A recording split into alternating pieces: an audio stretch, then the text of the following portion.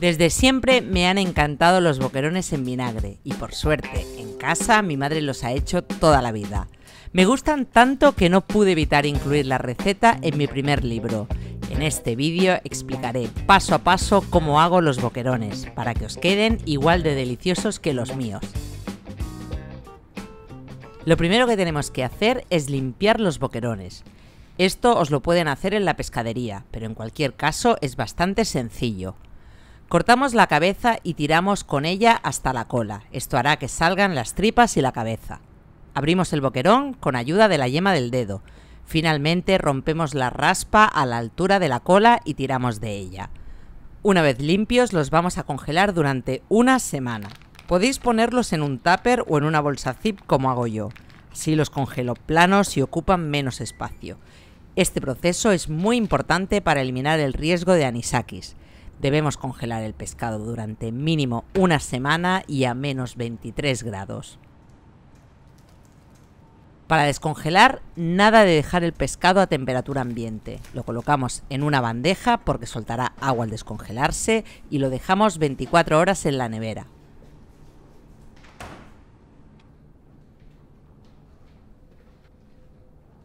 Vamos ahora a desangrarlos.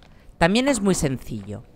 Tenemos los boquerones totalmente descongelados. Los echamos todos en un bol y cubrimos totalmente de agua con hielo. Los dejamos en la nevera 30 minutos.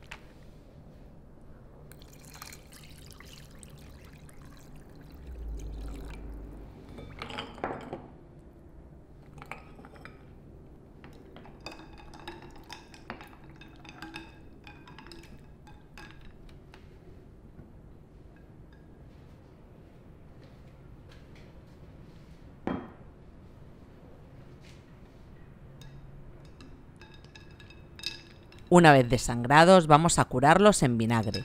Para ello echamos 100 mililitros de agua muy fría en un tupper, 40 gramos de sal y removemos. A continuación vertemos 300 mililitros de vinagre de vino blanco y 50 mililitros de vinagre de jerez. Este último les dará un sabor muy rico. También hará que queden de un color rosado en lugar de blancos. Echamos 200 gramos de hielo. De esta manera los boquerones quedarán más tersos, puesto que parten ya de un medio muy frío. Removemos un poco. Escurrimos los boquerones y los vamos echando de uno en uno a la mezcla de vinagres.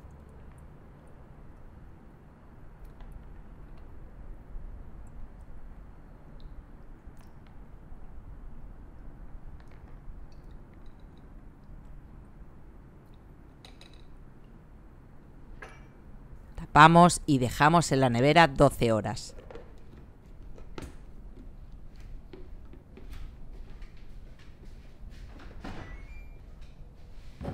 Una vez curados los vamos a aliñar, tan sencillo como echarles ajo, perejil y aceite. Lo primero que hacemos es escurrirlos para que suelten el exceso de vinagre. Laminamos 5 o 6 ajos. A mí me gustan laminados, porque así a quien no le guste el ajo crudo lo puede quitar fácilmente. Si no, también podéis picarlos. Picamos un buen puñado de perejil fresco y ya podemos ir colocando por capas los boquerones con la piel hacia abajo en un tupper.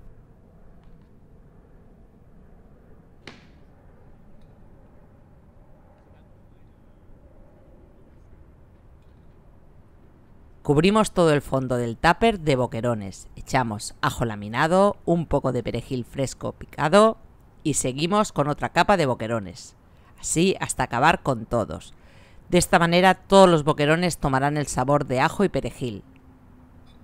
Podéis poner más o menos perejil y ajo según vuestro gusto.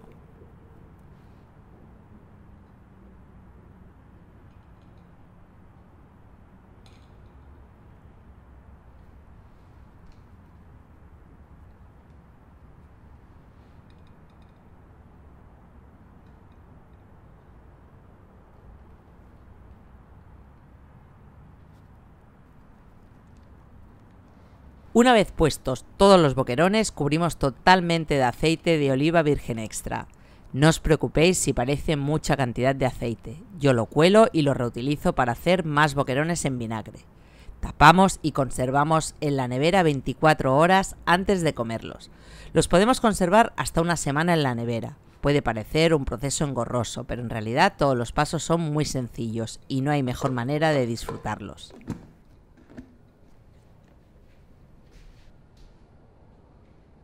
Por último, vamos con la presentación. Sacamos los boquerones que vayamos a servir del aceite y los dejamos escurrir un poco sobre papel de cocina. De ahí al plato de presentación. Es posible que el aceite se solidifique, pero es normal que ocurra con el frío de la nevera. Simplemente sacáis los boquerones 30 minutos antes y el aceite volverá a su estado natural. Como ya están en aceite no es necesario echarle para presentarlos. Lo que sí que hago es ponerle un poco más de perejil picado. Me encanta el sabor que le aporta el perejil al boquerón en vinagre. También podréis echarle más ajo.